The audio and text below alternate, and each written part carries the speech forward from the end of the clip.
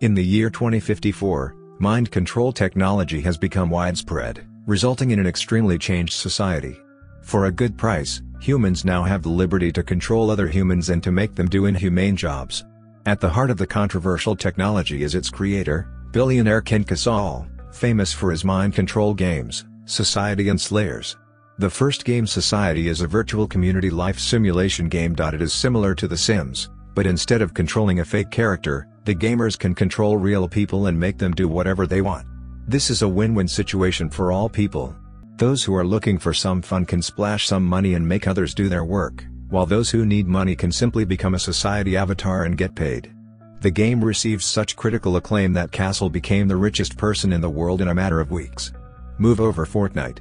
Several months later, Castle created another game Slayers. This controversial first-person shooter game is a simulation that gives the players full control of a human being, allowing them to act out their most savage fantasies online in front of a global audience. The game uses real death row inmates as avatars who are offered the chance to participate as an alternative to their death sentence.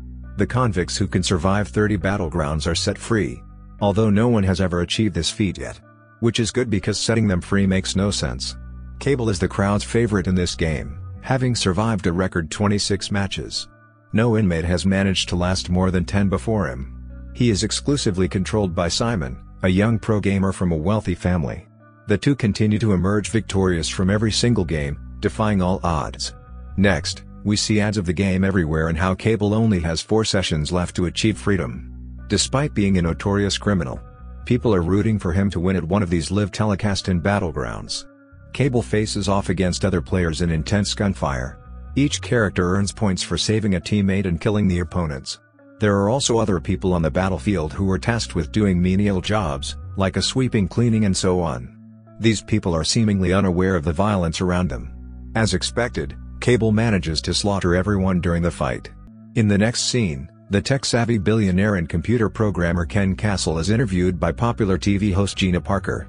At first, Gina introduces Castle and his inventions to the audience.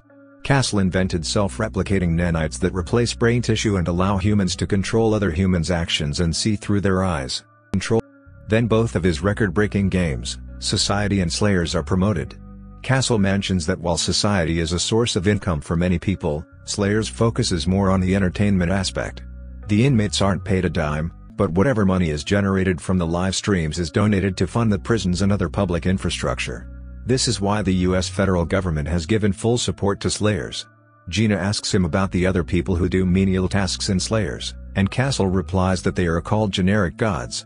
They are sent into the Slayer's environment with pre-programmed actions, with no one controlling them and no way to react. Generic cons are basically like NPCs in games. If someone is shooting near them, they won't run and will simply carry on with their tasks. Although they only have to survive one game to earn freedom, their chances of survival are next to nil. After the interview, an activist organization called The Humans hacks into the show's display system and a man calling himself Human's brother claims that Castle's technology will one day be used to control people against their will. Hearing the broadcast people become intrigued. But before Human's brother can reveal anything else, Castle's men locate its source and shut it down. Elsewhere at the prison, Kable sits alone, watching fellow prisoners playing basketball. He thinks about his family, but is soon interrupted by another inmate named Freak. Freak wonders how Kable has managed to successfully pass 27 matches, leaving only 3 to get his freedom. He also asks how a person like Kable ended up in prison in the first place, although the latter doesn't reply, he gets a flashback where a man is bleeding to death in a confined room. Back in his cell, a woman drops a picture of Kable's wife and daughter and asks him to sign a paper. She explains that her son, David, is a big fan of Kable and wants an autograph when he comes closer to ask about the picture. The woman takes his blood sample, claiming that it would prove his signature to be authentic. Elsewhere, Kable's wife, Angie, goes to work as a character in society. In the game, the characters are dressed in funky costumes. Angie's character is controlled by an obese man called George, who makes her talk to a man with a pig nose. The man starts to grope and kiss Angie, but her attention is on her husband's banner across the street. Suddenly, Human's brother hacks the society system and continues to condemn Castle. Meanwhile, the prisoners are taken to their next battlefield as soon as they arrive. A brutal fight erupts. Several of them end up dead from gunshots, truck accidents, fire, explosions and other gruesome ways. Meanwhile, Kable notices a woman pre-programmed to walk over the battleground unaware of the violent environment around her. Simon has Kable save the woman from a truck accident and bring her over to a corner of the street. However, when Kable is distracted by his opponents, the woman again walks up to the street and is run over by a truck. There's only so much you can do to save a lemming. Despite the setback, Kable and Simon eliminate all the opponents one by one and eventually emerge victorious. Seeing this, people from all around the world erupt. Enjoy! Next, we finally get to see Simon, who is a rich, spoiled brat with the latest technology at his fingertips while lying on his bed. Simon orders online, upgraded ammo for Kable and also chats with some girls. Suddenly, his feed is hacked by humans who shows him footage of Kable shooting a man in a confined room. This is the reason why he became a prisoner. As Simon watches in shock, the anonymous group asks him if he wants to talk to Kable. The scene then abruptly cuts to Castle who is ready to introduce a new inmate Hackman into Slayers. The plan is to kill Kable before he wins the two remaining games and leaves the prison unknown to anyone else. Hackman will not be controlled by a player and thus not be handicapped by the ping that causes a small but dangerous delay between the player's command and the Slayer's action. Later, as Freak and Kable are talking about their lives, they notice the terrifying Hackman Freak reveals that Hackman murdered a group of people and turned himself in. In the next game, Kable is stunned to find Simon communicating with them, since avatars and their controllers can't talk to each other. It turns out that the humans hacked into the system to make this possible. Soon, the battle ensues, and Simon uses the live stream as an advantage to guide Kable while dodging gunfire and targeting back the opponents. Kable notices that Freak who has volunteered to be a generic con, is sweeping the street. Sadly, he ends up in the crossfire and gets shot dead shortly after as Kable is searching the perimeter. Hackman arrives at the scene and savagely attacks him. He then proceeds to finish Kable off, but fortunately, the game's timer runs out, much to the relief of Simon. Meanwhile, Angie applies to get custody of them going to guarantee safety for their daughter. Elsewhere, as Simon is upgrading Kable's armor, he is again hacked by Human's brother. The latter reveals that with only two games remaining until Freedom Castle is planning to kill Kable. So they have to get him out immediately. He then urges Simon to relinquish control of Kable during the game and after a lot of convincing, the teenager finally agrees. Back in prison, Kable is contacted by the same woman from before who informs him that Simon will be letting go of control during the final battle. And if he wants to see his family, he needs to escape. Kable immediately agrees and tells the woman that he needs to get drunk before the battle. On the day of the final battle, Kable suits himself up with a bulletproof vest. He notices a bottle of vodka in his suit and drinks it in one go. In the battleground, Kable gets heavily drunk and frequently stumbles on the ground, witnessing this. Simon scolds him to get on his feet if he wants to stay alive until their escape plan. After a while, Kable goes to a garage, forces himself to vomit in an ethanol gas tank of a truck and then passes in it.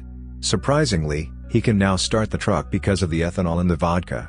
However, just before he drives away, Hackman clings to the door of the truck and attacks Kable. The two struggle for a while, but Kable eventually manages to escape by slamming the beast into a pillar on the way. Several guards and cars chase him, but Kable manages to evade every single one of them. After causing some of the cars to crash into each other, he finally gets out of the Slayer's perimeter. But just as he exits the truck and starts running, a missile lands near him and throws him away. Fortunately, he is left unharmed. Meanwhile, the broadcast of the game is stopped, prompting the audience to believe that Kable is dead. But the TV host Gina, who is also watching the game, is positive. The Kable is still alive.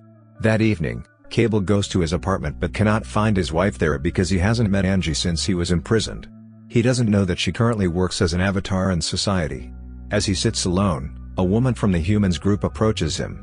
She introduces herself as Trace, who is the same woman who contacted him in prison. She then takes Kable to the humans' headquarters. Their human's brother tells Kable that they took his blood sample earlier to crack the nanocode, which made it possible for Simon to talk to him.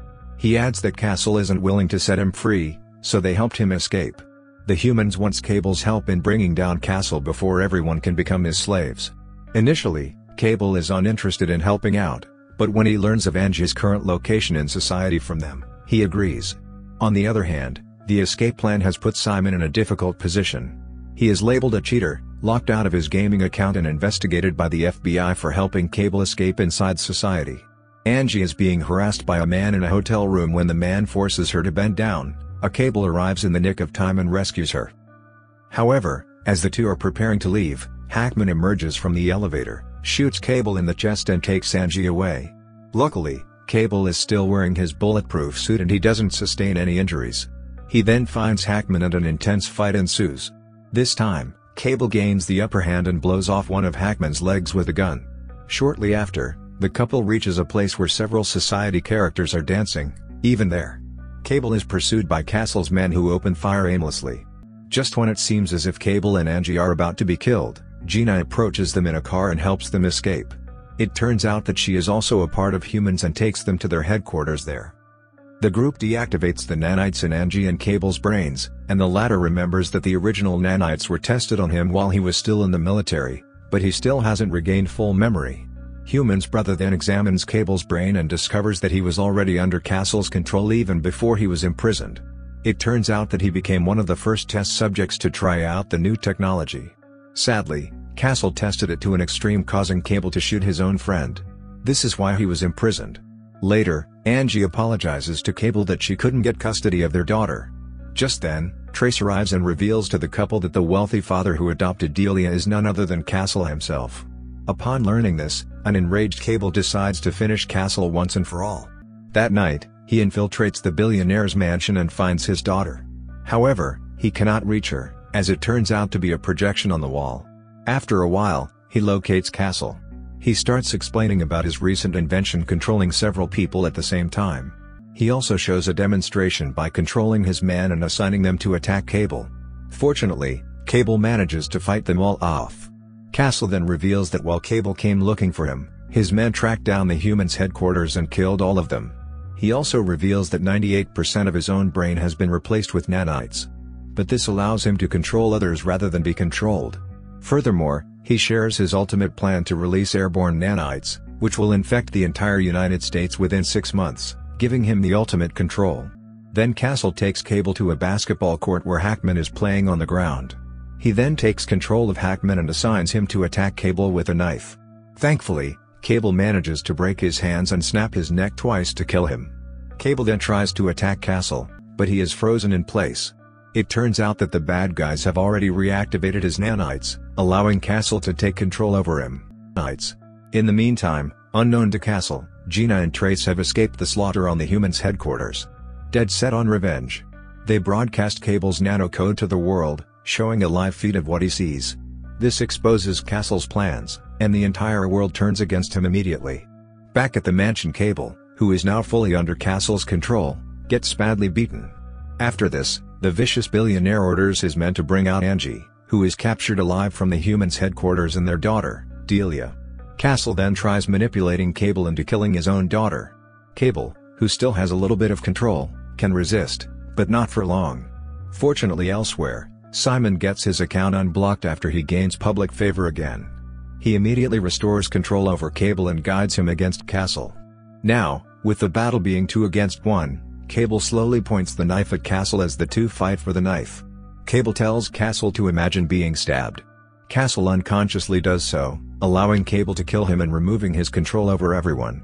With Castle dead, the audience cheers for the demise of their potential slaver and the dictator. Kable then convinces Castle's technicians to deactivate the nanites from everyone, freeing all the characters in society and slayers. The movie ends with Kable, Angie and their daughter taking a family trip down the road.